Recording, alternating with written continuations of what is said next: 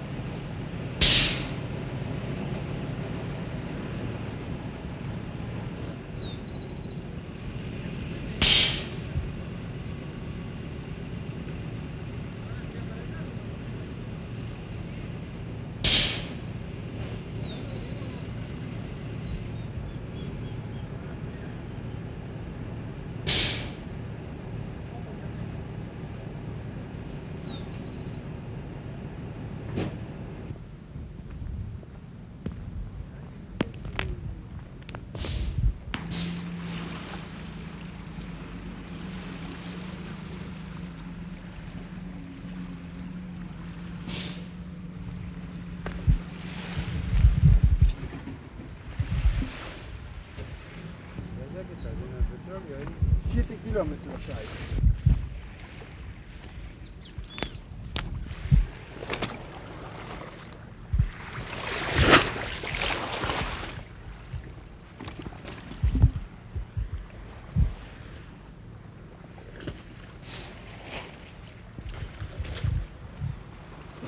El viento del cuadrante sudeste que sopla sobre el río de la Plata hace que el petróleo vaya arribando a la costa, pese a los esfuerzos y a las barreras que se están colocando en estos momentos en este centro de operaciones que ha montado la empresa Shell para disminuir el daño ecológico que ha producido esta colisión entre los dos buques.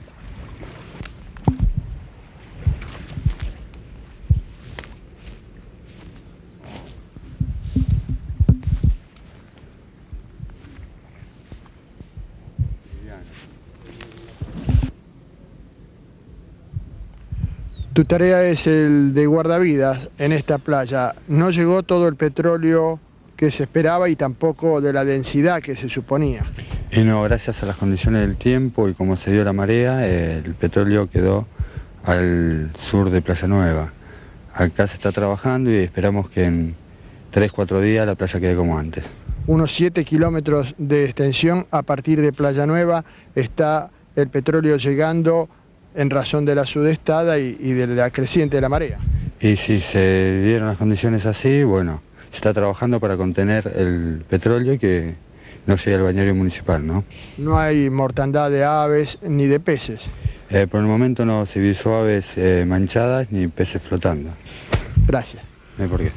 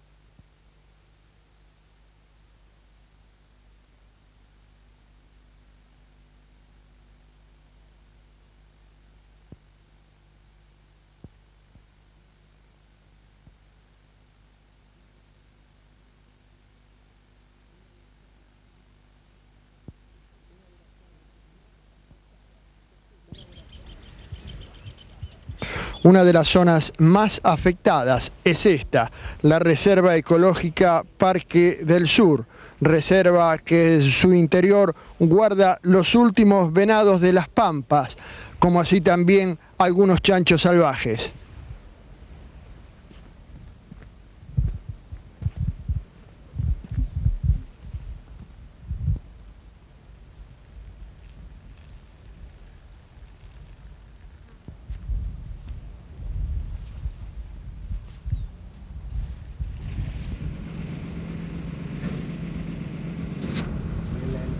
recién no. No, Mario me dio el nombre de un tipo allá, pero me olvidé y se lo dio la piba. Carabajal puede ser, ¿no? ¿Vos no querés que me llame Mario. con Mario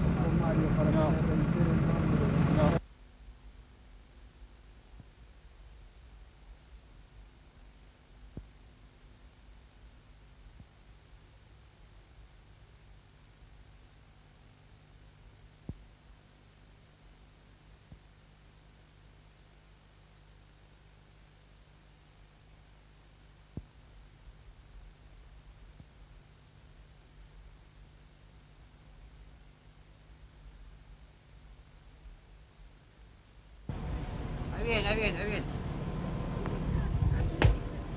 ¿Viene la camioneta? Minuto y medio y me voy. Teóricamente es el que maneja.